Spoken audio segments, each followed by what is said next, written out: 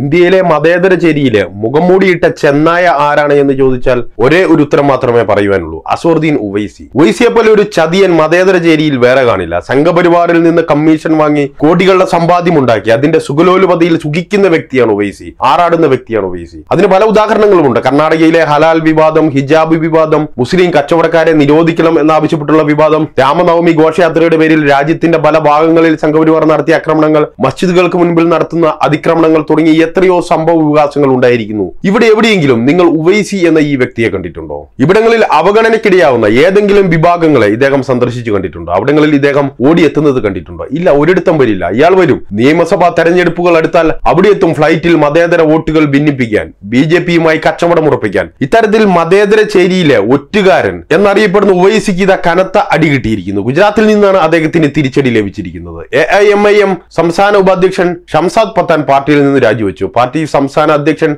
സബീർ കബ്ലിവാലെ തീരുമാനങ്ങളെല്ലാം ഒറ്റയ്ക്കെടുക്കുന്നുവെന്നും അത് B J പിയെ സഹായിക്കുന്നതാണെന്നും B J പിയുമായി സഹകരിച്ച് അവരെ വിജയിപ്പിക്കുവാൻ വൈസിയുടെ പാർട്ടി പ്രവർത്തിക്കുന്നു എന്നും ആരോപിച്ചാണ് ഷംസാദിന്റെ രാജി. ഇദ്ദേഹത്തിന്റെ രാജിയുടെ പിന്നാലെ കൂടുതൽ രാജ്യപ്രഖ്യാപനങ്ങൾ പാർട്ടിയിൽ നിന്ന് വന്നുകൊണ്ടിരിക്കുകയാണ്. നൂറുകണക്കിന് ആളുകൾ പാർട്ടി വിടാൻ തയ്യാറായിരിക്കുകയാണ്. തങ്ങളുടെ പാർട്ടിയിൽ സംസ്ഥാന അധ്യക്ഷൻ ബി ജെ പിക്ക് ഗുണകരമാവുന്ന തരത്തിലാണ് പ്രവർത്തിക്കുന്നത്. കാരണം അദ്ദേഹത്തിന് എങ്ങനെയാണ് ഒരു പാർട്ടിയെ മുന്നോട്ട് കൊണ്ടുപോകേണ്ടതെന്ന് തെരഞ്ഞെടുപ്പിൽ എങ്ങനെയാണ് മത്സരിക്കേണ്ടത് എന്നതിനെ കുറിച്ചൊന്നും അറിയില്ല എന്നും ഷംസാദ് കുറ്റപ്പെടുത്തി. ഒരു പാർട്ടിയുടെ സംസ്ഥാന അധ്യക്ഷൻ ആരുടെ തീരുമാനപ്രകാരമാണ് പ്രവർത്തിക്കുന്നത്? അല്ലെങ്കിൽ ആരുടെ തീരുമാനമാണ് നടപ്പിലാക്കുന്നത്? യാതൊരു സംശയവും വേണ്ട. അത് പാർട്ടി നേതൃത്വത്തിന്റെയാണ്. ഉവൈസിയുടേതാണ്. ബി ജെ പിയുമായി അഖിലേന്ത്യാ തലത്തിൽ തന്നെ ധാരണയിൽ ഉവൈസി പ്രവർത്തിക്കുമ്പോൾ സംസ്ഥാന അധ്യക്ഷനും അതേ രീതിയിൽ തന്നെയാണ് പ്രവർത്തിക്കുക. ഈ വർഷം അവസാനമാണ് ഗുജറാത്തിൽ നിയമസഭാ തെരഞ്ഞെടുപ്പ്. ആയതിനാൽ തന്നെ ഗുജറാത്തിലേക്ക് കെട്ടും കിടക്കയും എടുത്ത് ഉവൈസി എത്തിയിട്ടുമുണ്ട്. ഈ വരവ് ബി ജെ പിയെ സഹായിക്കാനാണെന്നത് മനസ്സിലാക്കിയാണ് സംസ്ഥാന ഉപാധ്യക്ഷന്റെ രാജ്യം. വൈസി എന്ന കള്ള മുഖംമൂടി അണിഞ്ഞ കപട മതേതരവാദിയെ തിരിച്ചറിയാൻ ഇനിയെങ്കിലും ഇന്ത്യയിലെ ന്യൂനപക്ഷ സമൂഹം പ്രത്യേകിച്ച് ഇസ്ലാമിക സമൂഹം തയ്യാറാകണം. അയാൾ വെറും ബി ജെ പി ഏജന്റ് ആണെന്നത് മനസ്സിലാക്കണം. നിങ്ങൾ നോക്കുക കഫീർ ഖാൻ